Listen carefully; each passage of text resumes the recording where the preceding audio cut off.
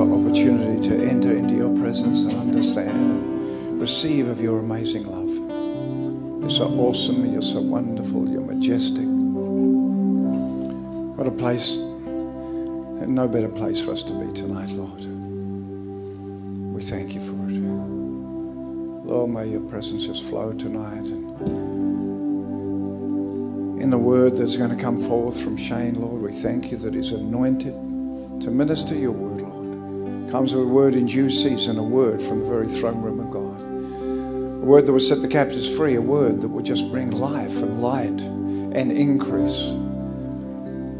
And as so often we heard, Lord, it will be in the disposition of Messiah, which is that amazing love and we give you praise, Father. We give you praise, Lord Jesus. We give you praise, Holy Spirit, for your wonderful, wonderful sense of your presence. And thank you, Lord. And everyone said, Amen and amen. Just greet somebody, love on them a little, and uh, we're going to go ahead and receive the offering straight away. And we get Shane up to preach. Amen.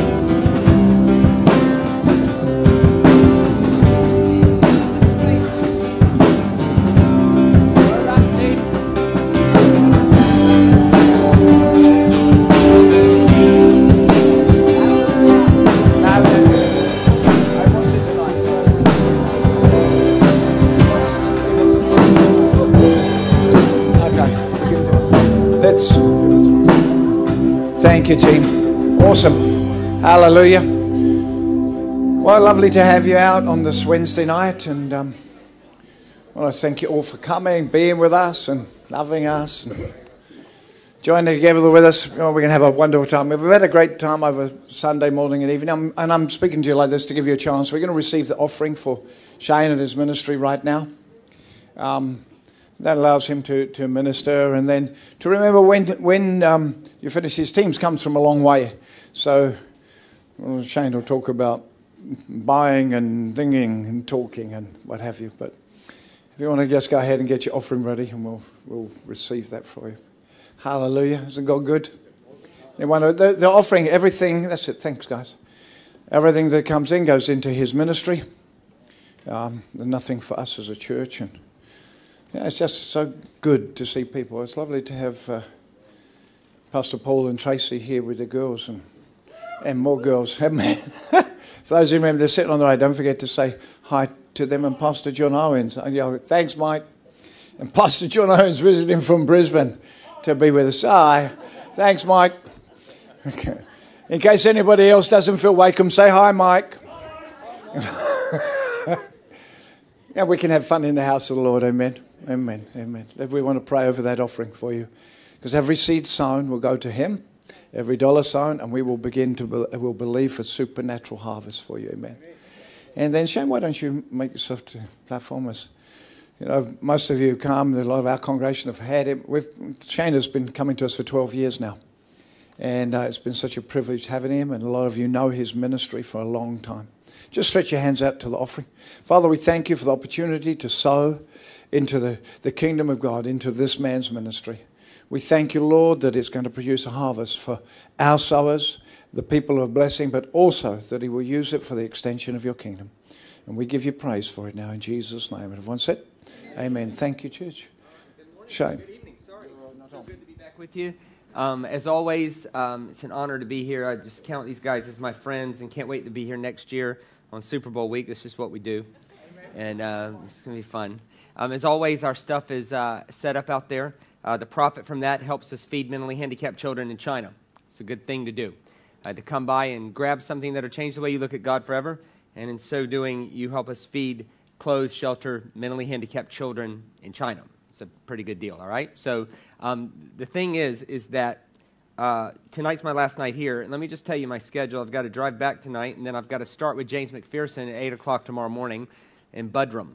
All right, so uh, it's, a, it's yeah, it's quite a it's quite a task, and he, James is having me do a uh, um, an all day intensive um, with his ministerial leadership college, and he's bringing in all the leaders from all of the campuses, and so um, it's a big day. And um, and so I so what that means is, is that um, I don't mind staying here as long as I need to stay here, but if it's not necessary, um, if we could buy first, right, and, and then chat. Right, so because you guys chat, you are the chattingest people, and I, I think that is fantastic. But if we could buy and then chat, that'll help. That'll help me uh, get to where I need to go. It'll also help uh, my team, who will have an hour drive. So just let, us stay because tonight is we got to pack up afterwards too. So if you could just help us do that, that'd be fantastic. I do have an online mentoring program up and rolling. Where once a month I'm in an online classroom teaching people how to see the Bible like my rabbi taught me.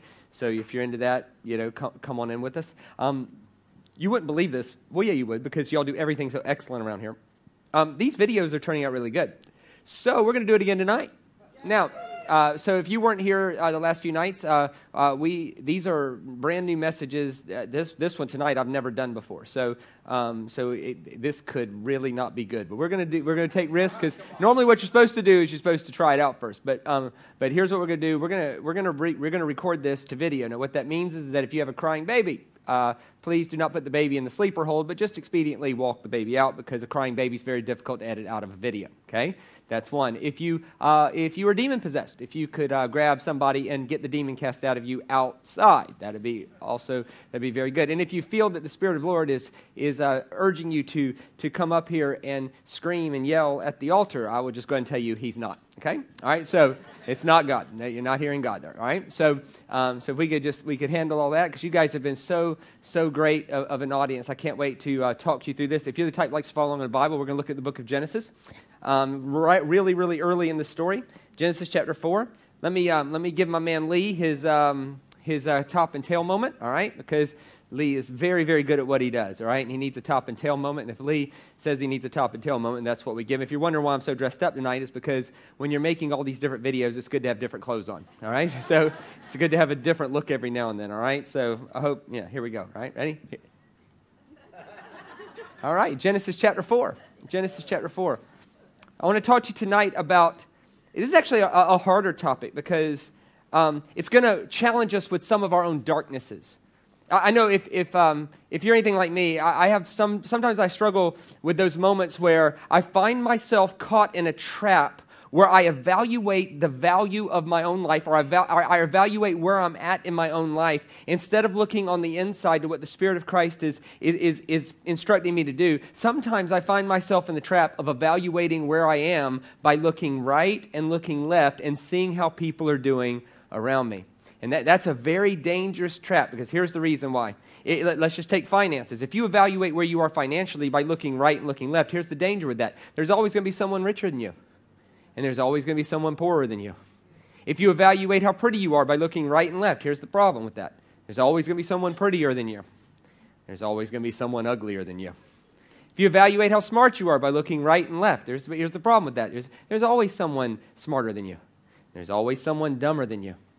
And you know what the problem with that is? Is that if you're not careful, if you get into that habit in life, you can find yourself stuck in the land of Ur.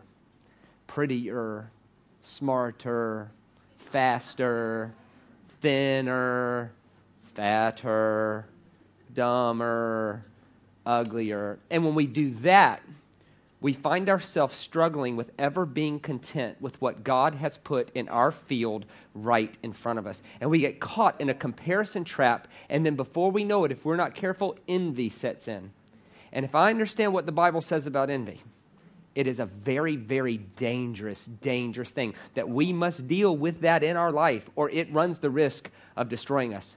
The, the, the, Catholic Church years ago came up with the seven deadly sins. And of course, the seven deadly sins were, were predicated with that passage in, in, Proverbs that these seven things the Lord hates. And then, of course, the passage in Galatians that talks about a list of things that God's not real happy with in our lives, not because God's just mad, but because God wants us to win at life. And these things keep us from winning. And of course, one of the seven deadly sins is envy. And of course, some of the other ones are gluttony and lust and, and, and, pride, things like this, things that, things that God doesn't want in our life because it, it would destroy us. And here's the thing I know if I've struggled with that at times, and I know if you've struggled with that at times, then I know uh, I'm dealing with something that, that the whole room can find themselves in the middle of. And here's the good news the good news is that we're not the first people to struggle with this. We are not alone. We are not unique. These are things that are true to most people's life. And you know what? Things that are that ubiquitous to life, normally we can find an awful lot of wisdom about those things in Scripture because Scripture has a narrative that flows, through it. And a lot of things, some things in Scriptures are just here and there, but some things in Scriptures appear everywhere because literally from the beginning of time, people have struggled with these things. And looking at the scriptures and looking at these narratives and looking at the authenticity of how these ancient, ancient tribal people had to deal with the exact same things that we have to deal with right now. And I guarantee you this that if the people who lived back then, when the world was far worse than it was today, I mean, far worse. Anybody ever tells you, you believe how bad this world's getting? Are you kidding me? Compared to what? When, would you like to go that is better than now? Like if I had a time machine and said, you can go anywhere you want to go as long as it's past, but if you go, you got to stay for six months. When you going to go? First of all, unless you're a white man, you're not even getting in the door.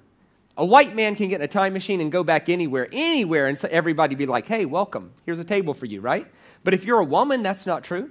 Would you rather be a woman today or in 1950? Or in 1850? Or in 1550? Are you kidding me? Would you rather be black today or in 1950 or in 1850 or in 1550? Is God done redeeming race relations? No, He's not. Is it better than it's ever been? You bet it is. Is God done redeeming equal rights for women? No, He's not. But is it better than it's ever been? You bet it is. Would you rather have dental work today? or in 1950? Or in 1850? Or in 1550? Would you rather have a colonoscopy today?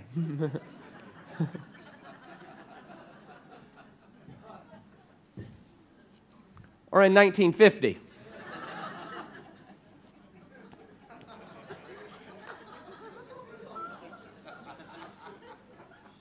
or in 1850?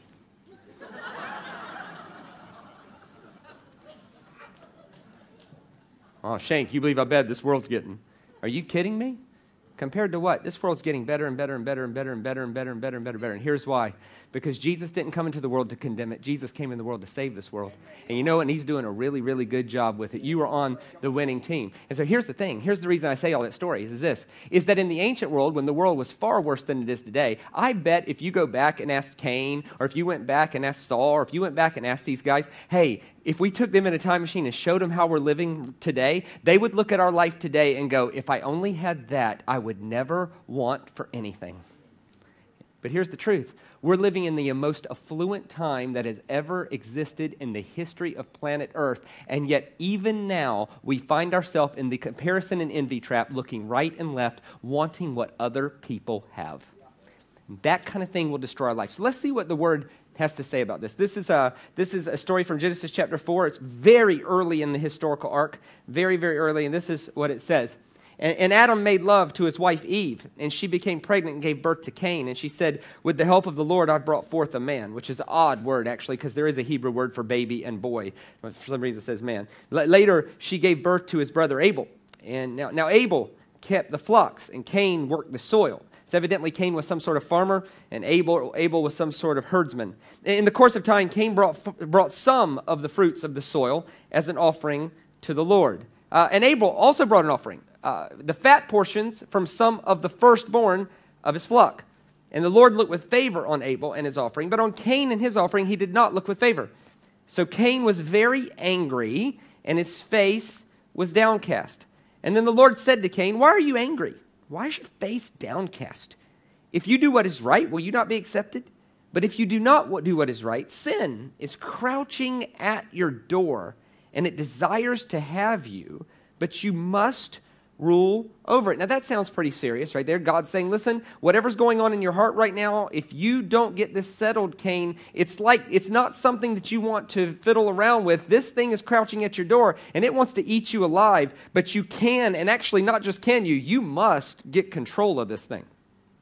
It's like the first sit down talk with, hey man, you got to get this thing together.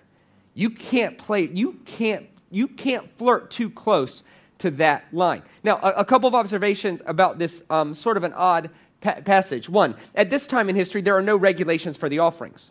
Like, are we supposed to conclude that God prefers meat over vegetables, right? Are we supposed to conclude, you know, God rather have cows than this? And, and of course, I've heard this thing taught since I was a kid that, oh, you know, God God didn't like Cain's thing because it didn't have blood and God requires blood. Well, that's not true in this case because the truth of it is is that at this time there were no regulations for the offering. How were they supposed to know exactly what God expected? This is before the Bible was written. This is uh, obviously Moses is writing this way later about the stories that were told back then. It's not that I mean they're sort of flying in the dark. Are we supposed to conclude that God wants this and not this and he's expecting them to know what to do? There's no way. And the other part of it that's weird is that in Leviticus later when Moses actually writes this stuff down, you find out that vegetables are actually an acceptable offering if you're a farmer, which makes perfect sense. So, if vegetables are ultimately an acceptable offering, then why is Cain's offering not accepted and Abel's is. And of course, the answer uh, lies within the history and within the text. In this, in this passage, this is not an offering for sin. They didn't even know what all that, they didn't know how to deal with all that. That was something that came along way, way, way, way later. The earliest offering instituted in this culture was something called a teruma offering, which we talked about Sunday morning. This was a first fruits offering. And a first fruits offering does not have to be blood, it just needs to be the first portions of the firstborn of the best of the best of your flock, right? So if you are a, uh, if you're a farmer, it needs to be the first fruit of your crop. If you are a herdsman, it needs to be the first portions of the firstborn of the flock. It doesn't say a spotless animal, that would be a sin offering. And this isn't a sin offering, this is Abel's first fruit offering. Now, where did they give their first fruit offering before there was a priest to give it to? And the answer was their father. Their father was the priest of their home. So, what you see in this early ancient story is this early tradition of giving the first portions of what you make back to the, the spiritual covering over over your life in order to say, we trust God and we honor God with the first fruits of what we do. So, what you see in this passage is not an, a, a sin offering gone awry. What you see in this passage is one person has no problem with the generosity it takes to give the first portions of the fat portions of the firstborn, while it says Cain only gave some of the fruit of the ground, right? So, the issue in this passage is not the type of offering it is. The issue in this passage is the heart attitude of the one giving it. One person has got this thing around generosity that he's okay with. The other person is giving just some of the fruit of the ground. Now, this, uh, this does not meet with the Lord's favor. The Lord gives favor to Abel's offering and not to Cain's. But I, I want to show you um, what ends up happening here. Look, look at this. When God confronts Cain, he doesn't confront his offering. He doesn't say, now obviously there was nothing written down about the offerings. He doesn't say, now listen, you did this wrong. There are clear mandates, there are clear regulations about how offerings must be given, and you know them. You should know how to give the offering. That is not what God confronts with Cain. When God confronts Cain, he does not confront his offering, nor does he confront how he gave it. What he confronts is, is he confronts his mood, his attitude. Why is your face downcast? Why are you so angry? What, what's going on in your countenance? What's happening inside your heart that I'm seeing manifested on your face? And if you've been in leadership at all, you know the frustration with this sort of thing. When someone's face is telling you one story and their mouth is telling you another, that is frustrating. You say, hey, hey, hey, hey, something's going on here. What's wrong? Nothing. Well, it doesn't look like nothing. And if it is nothing, tell your face it's nothing. Because your face is telling me it is something, right? This is the first one of those kind of talks where God's like, yeah, you know what, there, there's not even that many people around yet. I'm going to have to deal with this. Listen, here's the thing, okay? Here's the thing your face and your countenance is telling me that something is going on in your heart, and literally, that thing going on in your heart is crouching at your door ready to eat you, bro. You need to get this thing sorted out. And it had nothing to do with the specifics of the offering, it had to do with the specifics of the man's heart. Something was going on on the inside that's easy to cover. It's easy to confront how an offering is given, that's easy to do. It is much harder to confront and deal with something going on underneath the surface. So God warns Cain that this attitude will lead to sin, and this sin will destroy him.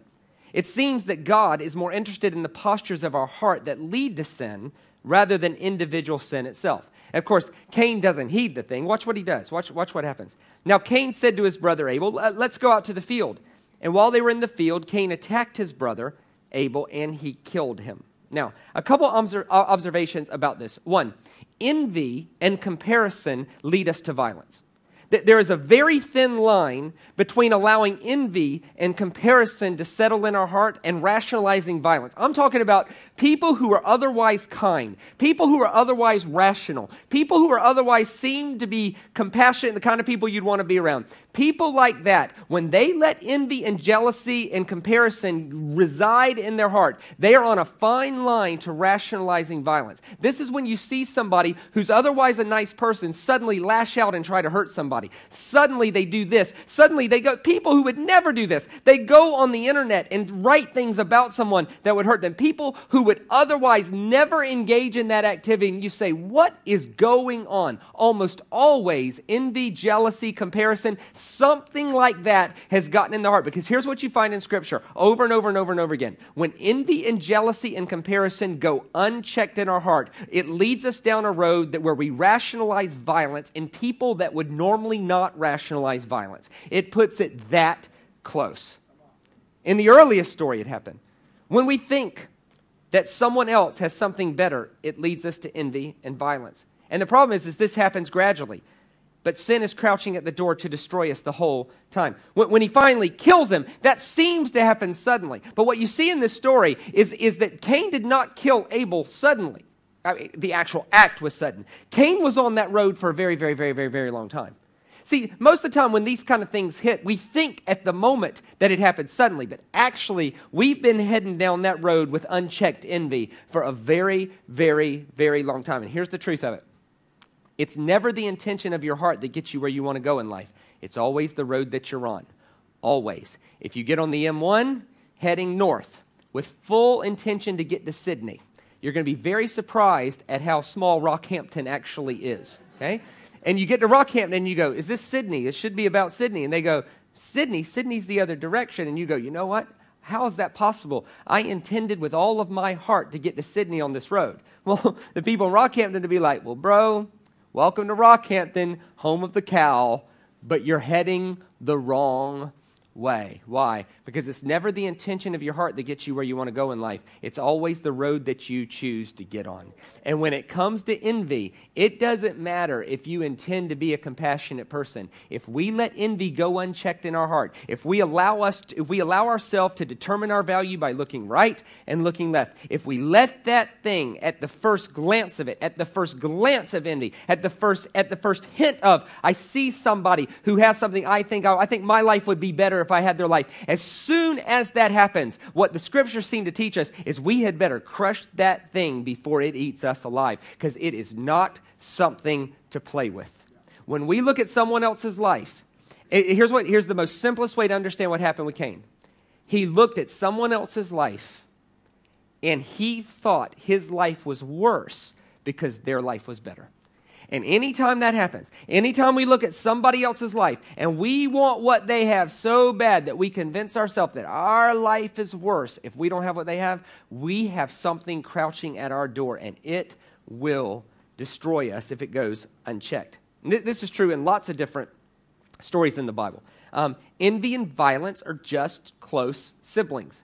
If you find yourself lashing out, and you would normally not do that, somewhere down in there, there's, there's this rationalization of envy and comparison that we just normally wouldn't do. But you see this happen to a lot of people. Um, Sarah sends Hagar out into the wilderness. So Sarah gets envious that Hagar has, is pregnant before her, and instead of just dealing with it on the inside, and instead of, and instead of dealing with that internal heart problem, she sends Hagar out to the wilderness. Well, hang on a second. In an ancient world, if you send a woman out into the wilderness, what have you just done to her?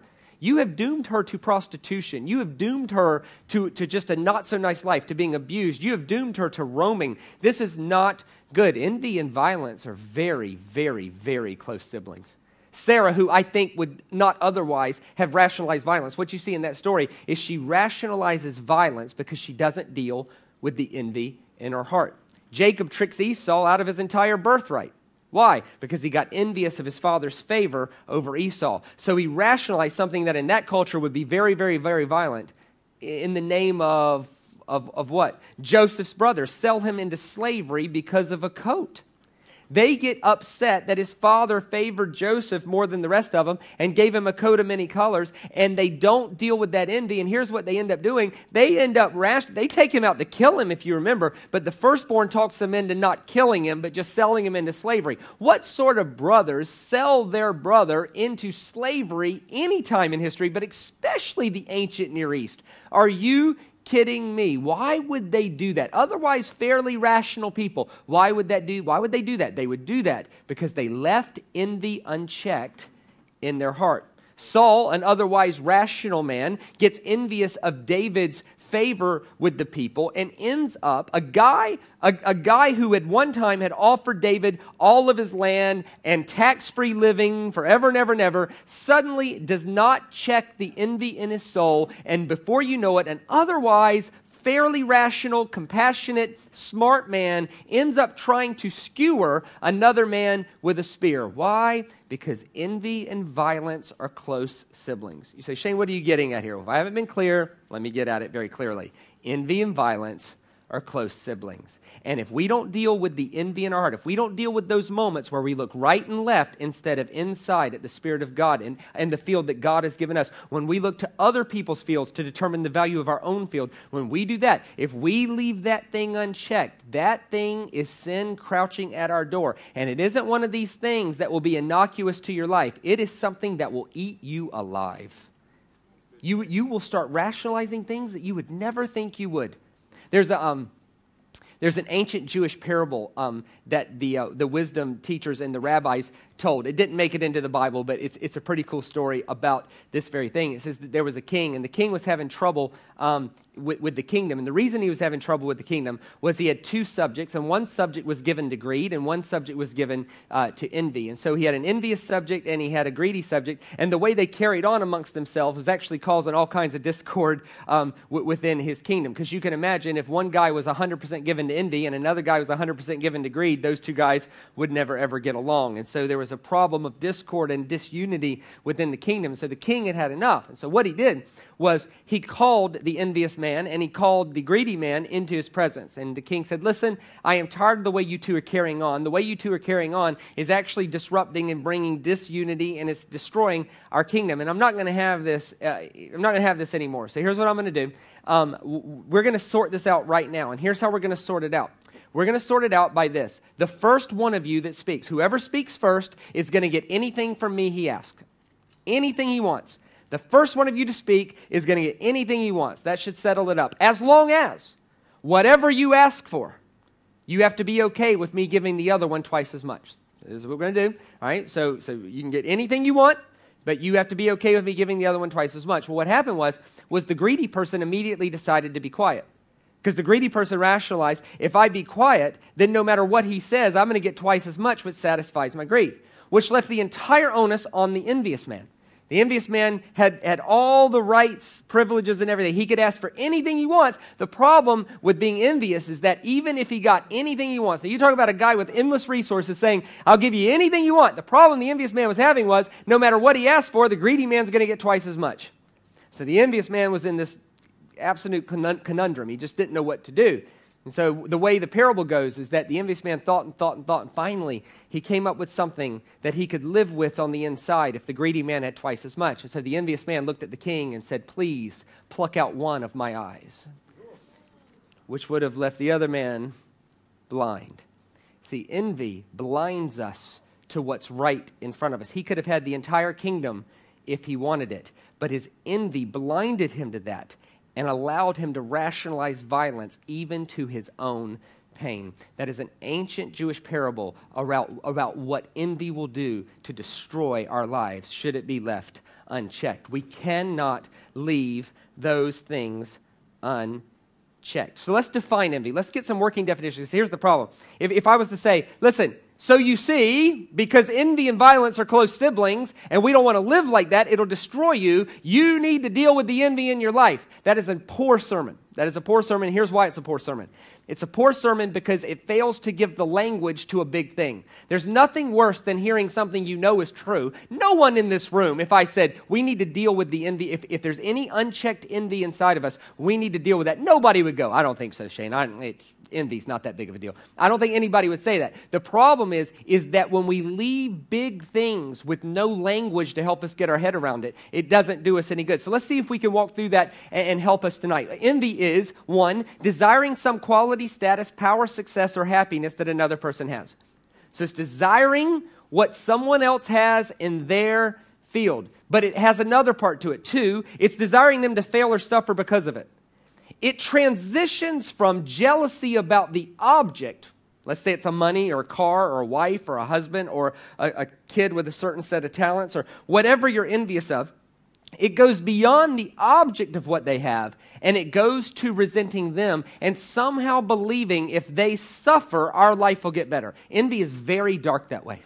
Envy is very dark that way. Let's say it this way envy is not about the object, it is about the person. And, and, and here's the problem Envy is widespread because it's the easiest to hide and the hardest to admit. Envy is the easiest to hide, it's the hardest to admit. Think about the seven deadly sins. Gluttony, not very, not very easy to hide, right? If you struggle with gluttony, let me just help you with that. Everybody knows, right? And, and it, it's also the easiest to admit, especially in white Western culture, right? If someone in white Western culture says, you know what, I eat too much, everybody, amen, amen, yeah, get your, let's get the donuts. All right, right. We rationalize that even though gluttony is strictly forbidden in Scripture 25 times more than homosexuality. For the church, we don't care if you're a glutton. You're just like, well, whatever, right? Glutton, gluttony is, is easy to have out in the open, and it is easy to admit. So, uh, pride, easy to admit. No, no one would have a problem admitting, every now and then I think too much of myself. As a matter of fact, if we don't admit that every now and then we think too much of ourselves, we're in fact thinking too much of ourselves, right? L- lust, lust, easy to admit. Easy to get out in the open. Why? Because everybody understands it. Like no one would say, if, no one would say, I never lust. That's just ridiculous. If someone says, you know what, occasionally I, I, I deal with this problem of lust, everybody would go, yes, welcome to the human race, right? But envy's not like that. If someone with authenticity at your next home group meeting said, you know what, guys, I, I need to get this off my chest. I, I, I'm just deeply, deeply dealing with an envious heart. Well, th- that is not easy to admit, and, and nor is it easy to deal with because everybody in the room would go, Oh man, envy, you're weird. Like that is just creepy, right? Right? Why? Envy has a stigma to it that the others don't. And because envy has a stigma to it that the others don't, we tend to hide envy. And when we hide envy and don't bring it out into the light to deal with it, what ends up happening is it crouches at our door. And ultimately, we start rationalizing violence and then it destroys our life. It's widespread because it's the easiest to hide and the hardest to admit. It, it, also, it also reveals our darkest side.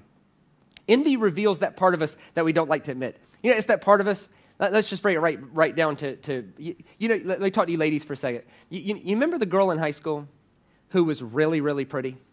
And she developed earlier than you? and all the guys sort of went gaga over her, right? Remember that girl? Yes, you. You don't lie. You remember her, right? Everybody remembers her, right? And she got the dates, and you were home on Saturday night, right? And she was popular, and you were sort of frumpy, right? And, and, and, and, and over and over and over again, you, you just sort of, you love to hate that girl. You love to hate that girl. And then here's what happens 25 years after graduation, now you're in your mid 40s, and you happen to run into her at the mall. And she is 60 kilos overweight, and everything's drooped, and uh, her hair's all scraggly, and she's barely out of her pajamas in a grocery store. And something inside of you goes, Yes! That's dark. It's that part of you that believes that you'll feel a little better about yourself if someone else doesn't have what they have. So, social media is a problem with this. Facebook, Facebook is a cesspool for envy, and here's why. Facebook is voyeurism for people's greatest side. All you ever see on Facebook is people's greatest side. Listen, can I help you with something? If you put your truest, most authentic, darkest side on Facebook, you're insane. What is wrong with you? Please quit doing that. Facebook is meant for you to put the lighter side of life up. So here's what people do on Facebook they put the picture of the new BMW, they put the picture of date night, not fight night, right? They, they, they, they, they on, on Facebook, on Facebook, they put the picture of the kids. How many kids, how many screaming children have you ever seen on Facebook? Never. What do you see on Facebook? The two year old playing, the two year old saying his first words, the two year old taking a step. Everything is so nice and hunky dory, and fairies are flying. Like, this is not real life. And so, what happens is, is we voyeur at people on Facebook, and all we see is their best side, and we secretly start wondering, I wonder what my life would be like if I had something that looked that happy. Because your real life looks nothing like their Facebook life. Have we considered that their real life looks nothing like that? They're posting date night. They're not posting the knockdown, drag out fight that happened two nights before date night, which is the reason date night is happening. They're not doing that. I mean, it, it goes even crazy. And, and, and, the, younger, the younger generation, I, I, it's hard for me to even say that. I'm 40 now. I just turned 40. And so, and so you know, if you're 20, I could technically be your dad, I guess, but eh, which is hard for me to imagine. But, but here's the thing I've, I've heard young adults actually speak like this. They were jealous of how many likes their photo got that was less than someone else's likes that their photo got, and their photo was better than this dude's photo, but this dude's photo got twice as many likes as this, and they actually talk like this.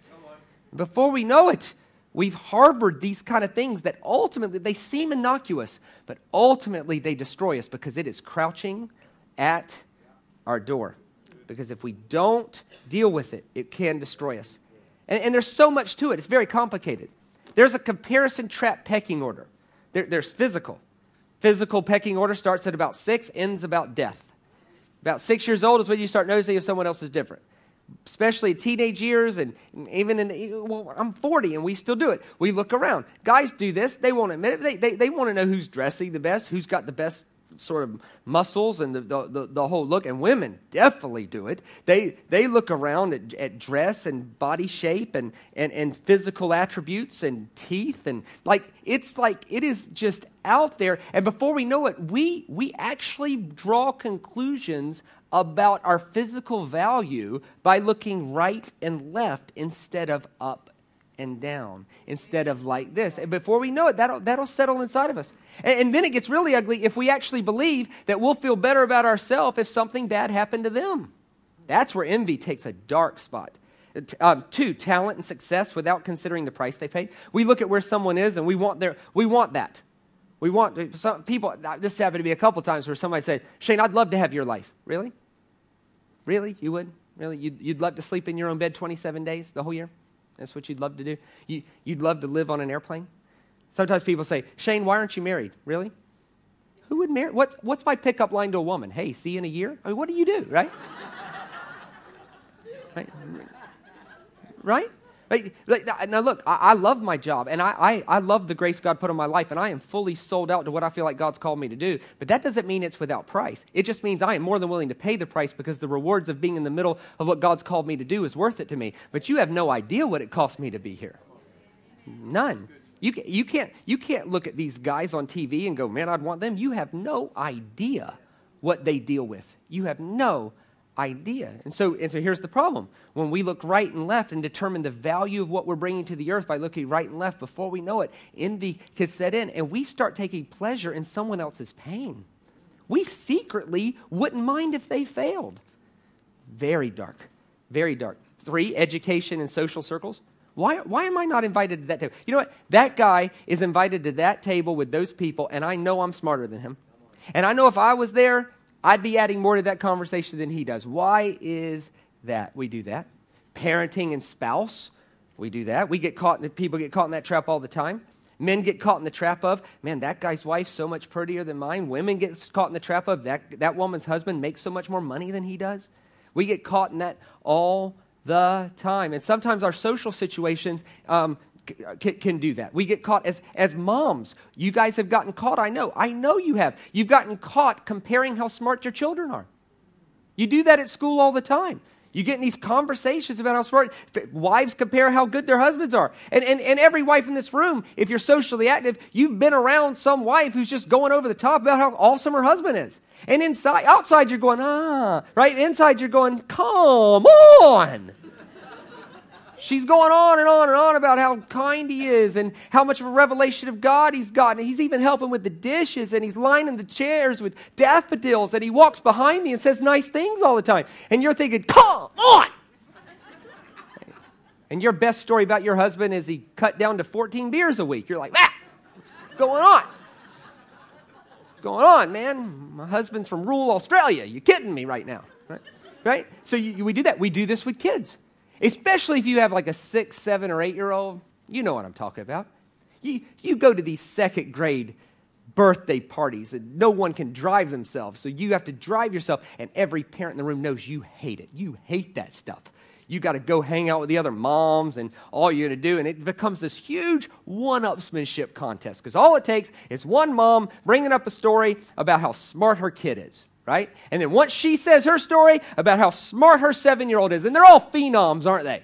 Everybody thinks their kid is like the next Einstein or something. It's normally not true. They're normally just normal kids. But the, but the mom says this incredible, man, you wouldn't believe how fast Susie got through her math homework. Well, as soon as she says that, the next mom has to one up that story. And then the next mom has to one up that story. And then, then you got some mom going, you know what, I don't get this, but my seven year old, he figured out the other day the square root of two is an infinite number. I was amazed by that, right? Right? I was amazed by that. And you're thinking, I don't have a story like that. I don't have a story like that. And then you're frantically looking around for your kid. And then you're looking around for your kid, and what you see is you see the one, the one Chinese kid in the, in, in, on, in the corner over there solving some geometric equation, right? And so you're trying to find your kid, and you look around, and your kid is the one kid in the room with a bucket on his head, beating his head against the wall, right? And you're like, oh, no, no, stop beating your head against the wall. And someone says, who's the kid beating his head against the Who's the bucket head kid over there? And you're like, I don't know who that kid is. And you find yourself disowning your own kid.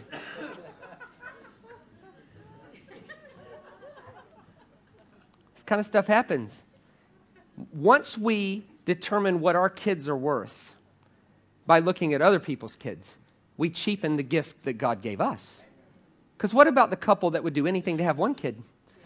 And they look at your kid with the bucket on his head and they go, man, I wish I had that. Sometimes we lose sight of what we do have at the altar of what we don't when we don't check these things in our life. Of course, there's spiritual envy as well. You know, why don't I see things they see in the Bible, leadership? How come everything they touch turns to gold? How come everything, how come, eh, what, what is the deal? What, what is the deal with the guy at Hillsong? He could, he, he, could, he could show up in a city of 800 people and build a church of 2,000. What is going on with these people?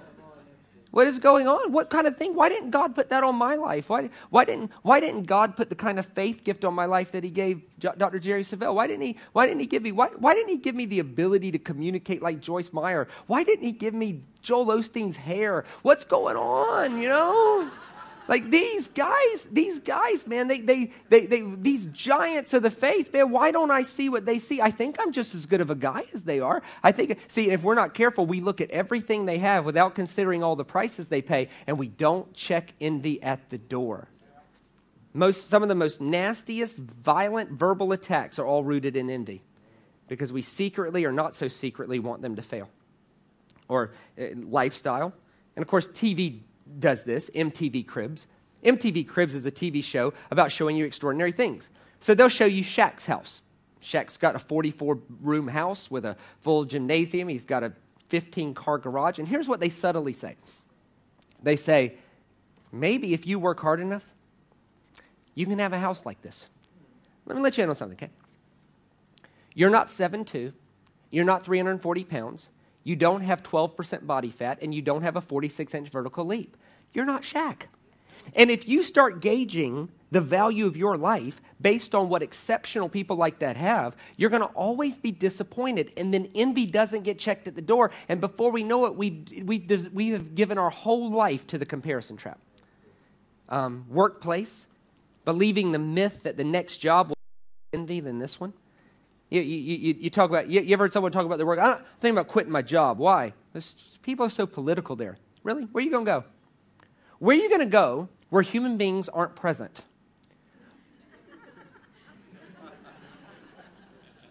where, where are you going to go where there's no agendas? Where are you going to go? See, if you, the truth of it is, if you can't be happy, everything you need to do everything God's called you to do is within your field and within your reach right now. And if you change fields, it doesn't help you at all. And if you destroy someone else's field, it doesn't make your field any more fruitful. And that's the problem with envy. Envy believes if they were off the face of the earth, my life would be better. And it's never true. Cain wipes Abel off the face of the earth. Did Cain's life get better? No. Saul tries to wipe David off the face of the earth. If he would have hit David with that javelin, does his life get better? No? What's true? David's now off the face of the earth. That's it. He still feels less than. It doesn't change. Envy allows us to believe that if someone else was wiped off the planet, somehow we would get what's in their field. But that's not how it works. It's just an absolute destructive sort of lie. Now, so what? So we live in 2016. Um, what do we do with this kind of information? What do we do about this to beat it? Let, let, me give you a couple of ideas here. One, envy is rooted in how you see yourself, never about what the other person have.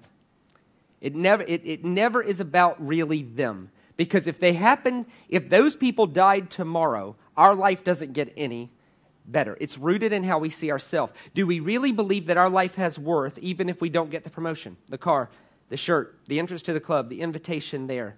See, the simplest gospel message is that you were loved while you were imperfect and before you realized the potentials of any of your life. That the whole gospel, the, the best gospel message is, is that God loved you before you were saved, if we want to use that word. God loves you after. God loves you during. But before you ever did one thing to reach the potential of your life, God called that out of you. He put everything in. He affirmed your worth.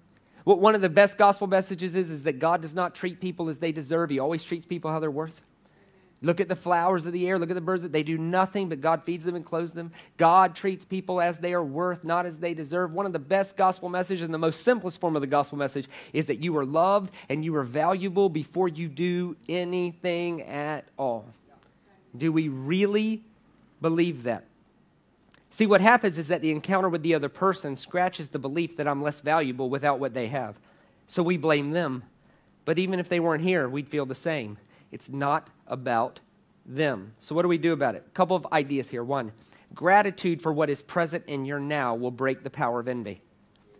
The, the, the, best way to beat envy is not to fight envy. It's not to pray in the spirit until the spirit of envy leaves. That, no. The, the, the, the best way to fight envy is not to fight envy. The best way to fight envy is to become fully conscious of God in your now, being so aware that God is here with you in every air that you breathe, and begin to take account as to what's in your field without having to look left or right at all. And when we actually take account as to what's in our field, we, are, we could be amazed as what's in there.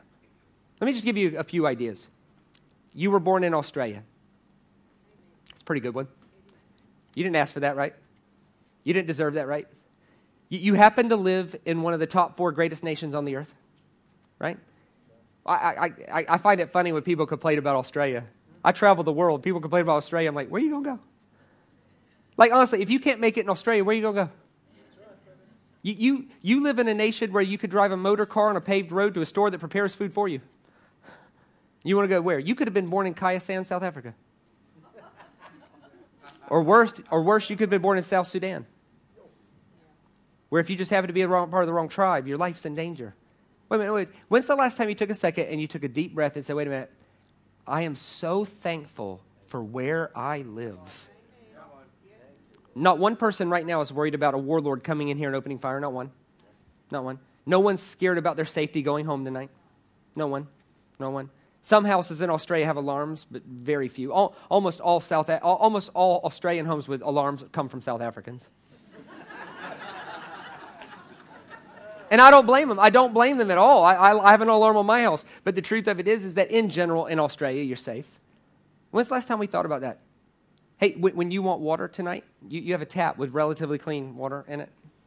When's the last time we thought about that and actually expressed gratitude? And I don't think it's helpful for us to say we should be we should have gratitude attitude every moment of every day, and, and then people go over the top and every breath they take, they're like, Thank you, Jesus, thank you. Now I don't think that's helpful at all. I think having I think I think having a general attitude where maybe five times a day we take 15 seconds, because that's very doable. Five times a day, take 15 seconds and think about two things that are true in your now, regardless of right and left, and be genuinely thankful for what's there. Most of you can feel your toes hitting the ground. You know, there are people who can't. Most of us have all of our limbs. Most of us have both eyes that work. Yeah, most of us most of us experience life in a fairly normally developed way. And even if we're at deficit in some place, you still live in Australia where there's good medical care. You know, we live in a nation with, uh, with electricity, clean water, machines that wash clothes, another machine that dries it, a legal system that protects the weak against the strong. Like, this is a great place. Your life is great. It, if God allows you to live in Australia, what does He owe you for the rest of your life? I think He's good. In, in, other words, if all you did, if all, if, if, if all God said, you know what, all I did for you your whole life was I allowed you to live in a free country, what else does He owe you? God is now an infinite credit. Your field is full.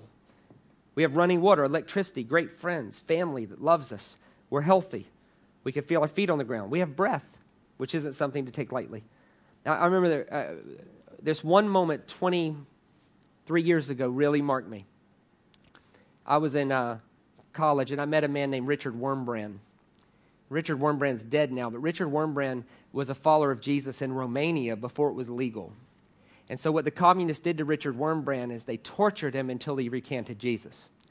Here's the problem he never recanted Jesus. So, when I when I met Richard Wurmbrand, he could not walk. His feet were like size 22, even though they started at size 10, because of the swelling that was infinitely there from the beatings on the bottoms of his feet. To get, uh, to, to get him to recant Jesus, they took his wife and threw her in the Rhine River, which was three degrees Celsius at the time. They'd throw her in the river and then they'd fish her out with a pole and then they'd stand her in front of him shivering and they'd say, You deny Jesus. And she'd say, Please don't deny Jesus. And they'd throw her back in and then they'd fish her out with the pole and then they'd stand her in front of him and say, You deny Jesus. And he says, I'm not going to deny Jesus. And she's saying, Please don't deny Jesus. And they throw her again, again, and then they beat him. And here's what Richard Wurmbrand was famous for in Romania and this is why the church in Romania is as strong as it can be. And I'm so excited. Um, in, in June, I'm getting to do a huge conference in Romania with a, with a church there that is just thriving. They've got over 10,000 people, and, and they're thriving in this new reality in Romania. But part of the reason it's a new reality in Romania was there was a man who, even in the beatings, was willing to look at the guards and say, I forgive you, and I affirm the Spirit of Christ's love for you.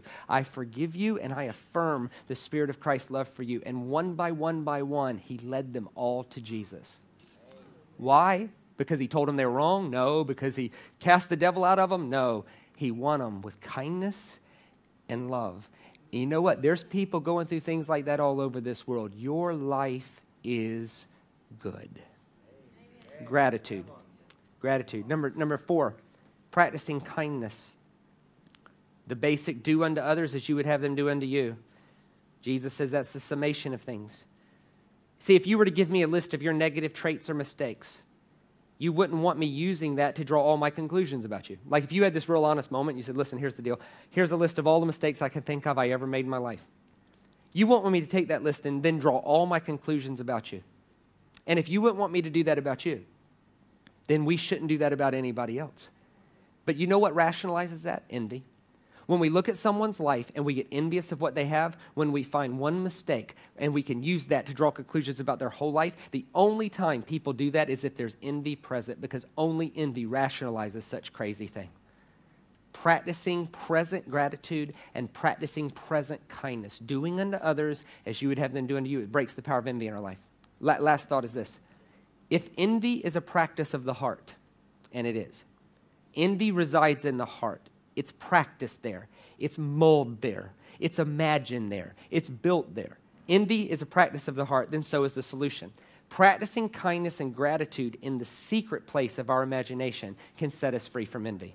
Regularly setting aside a time, and this is why I, I don't want to get too over the top with this. I don't want to go, we should just every time something good happens, you should be, thank you, Jesus, thank you, Jesus. You should be walking through the grocery store praying in the spirit because there's groceries. No, no, no. I, I, just don't think that's helpful. And quite frankly, it's weird, right? If you're praying in the spirit in the grocery store loudly, uh, stop, okay? But, but, but here's the deal. Here's the deal. Here's what is helpful. And here's what is doable regularly setting aside one minute intervals during the day, maybe. Maybe five one minute intervals. That's five minutes a day at one minute a time. And stopping and breathing and asking yourself this question What would I feel like, Lord, if your presence was in me now? What would I feel like, Lord, if I knew that you were with me? And then just begin to be utterly thankful and, and, and show gratitude for what's in your field now without looking right or left, past or present, past or future, right now. And then begin in your imagination to practice kindness. One of the things I do every day in my life, every day, is I take a couple minutes a day and I imagine the kindness and compassion of God coming out of me. I imagine that all around me. Because here's what I know as many people as I meet in a week, I'll never remember all their names. I'll never be right every time. You can't speak as much as I speak and not be wrong about something. It's impossible. I, I don't want to be known for my rightness because that's an unwinnable battle. What I want to be known as is when people encountered me, that they felt better about themselves when they left my presence than when they entered it because the Spirit of God touched them with kindness. And you know where you could build that? In the secret place of your imagination. Jesus said it this way My Father who's in the air that I breathe, I stop and become aware of you. He said, when you do that in your secret place, become aware of the Father's presence. In John 17, he said it this way Father, I've manifested your name. I've manifested your name to everybody in public. Why? Because when he hallows it in secret, he manifests it in public. And here's the truth of it Whatever you hallow in secret, you will manifest in public. If you hallow and you build envy and jealousy and you don't check those things, and in that secret place in your heart, it gets bigger and bigger and bigger and bigger and bigger, trust me, at some point it's going to manifest in public as violence. But there's an answer for that. And if you can build envy in the imagination of your heart till it comes out as violence here, then you can build gratitude and kindness in the imagination of your heart, and it will manifest in public. What you hallow in secret, you will manifest in public. May we be people who hallow the kindness of God and be set free from envy. Let me pray for you. Lord, we love you and we honor you. We proclaim your King. Why don't you just right now, let's just be quiet before the Lord and let's take a deep breath. And I want you to ask this question Lord, what would I feel like if your presence was here now? If I could feel you, what would that feel like? And then, with the consciousness of God around you, I just want you to take 15 seconds and underneath your breath, I want you to begin to tell Him what you're thankful for. Lord, I'm thankful for the free country I live in. I'm thankful for my health. I'm I'm so thankful that I can feel my feet on the floor. I'm thankful for vocal cords that are strong and work. I'm thankful. I'm thankful for safety. I'm thankful for laws that protect us. I'm thankful for guardrails that don't let us go too far off course. All of these things are in our field right now. We don't have to look right, left, past, or future. They're right there. Just take a second and begin to say that. Now, what I want us to do is I want you to picture the kindness of God and ask yourself this question What would you feel like if that kindness flooded your being and began to go off of you to other people? What would it be like in the supermarket if they could feel the kindness of God in your presence? What would it be like if we could build that atmosphere around us? Can you imagine a world without envy? Can you imagine a world where we were content being kind to our neighbor? Lord, would you do that in us? Amen. Amen. Look this way. Thanks so much for being part of your life tonight and, and be a part of your week. I really enjoy it. I hope you got a lot out of that. That's a brand new one. I've never done that before. I hope that'll work. All right? Um, I hope that speaks right to where we are and is very applicable. Um, if you're here tonight and you've never received what Jesus did for you before the foundation of the world, I hope you would do that tonight before you leave. If you need something to say, you can simply say something like this Lord Jesus, I'm going to choose to put my trust in your version of my story instead of my own. The story I've written for myself, I believe that your version is better. And I would love to put my trust in that version of my story instead of mine. I'd love to be a part of what you're doing. You could do that. Um, I'd love to be a part of your life more often than I can. We're very, very, very booked up. And so thank you for being low maintenance friends. Thanks for being a part of my life. I can't wait to see you in a year's time. I love you all very much. May you be winners and be set free from the thing crouching at the door. Grace and peace. God bless.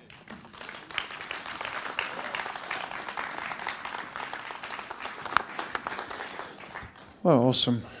We've had awesome time. Blessed of the Lord, aren't we? Blessed, blessed, blessed. Thank you, Mama. Are you going to go straight out? Come stand. Let's, let's all pray for you. Going on. And uh, he's doing a, yeah, booked up every week. Father, we just thank you right now as we mix our faith and our love with Shane and his team as he goes from here. We are so grateful for the impartation that he has brought to us, revelation knowledge that has caused us to be better and greater and have more understanding of you and your word. But more importantly, it's drawing us closer to you, Lord, in intimacy and to see your kindness flowing through him and us as we will be the kindest church in the place. We will exhibit those, those elements that you want us to, that people will come in and be loved and as he goes forward, Lord, we just stretch our faith out and we say, anointing, increase, increase, increase. Lord, may your God protect him, may every need be met, and may he speak as the oracles of God. And we give you praise for him and his team and that which he's meant to us, Lord. Bless him as he goes. And we thank you. We will see him again over this next year. And we give you praise in Jesus' name. Everyone said, Amen. Awesome, Shane. So please go and have some fellowship. Go and uh, buy and then speak. Go buy and then chat or whatever. And then we'll see you all on Sunday morning. God bless everyone.